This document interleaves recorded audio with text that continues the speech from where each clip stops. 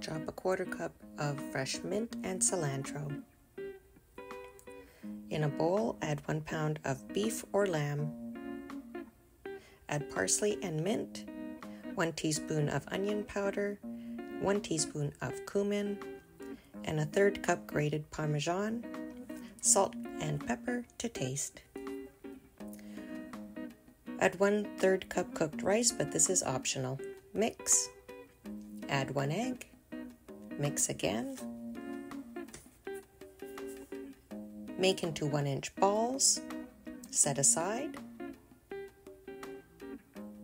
Chop one onion. Chop one carrot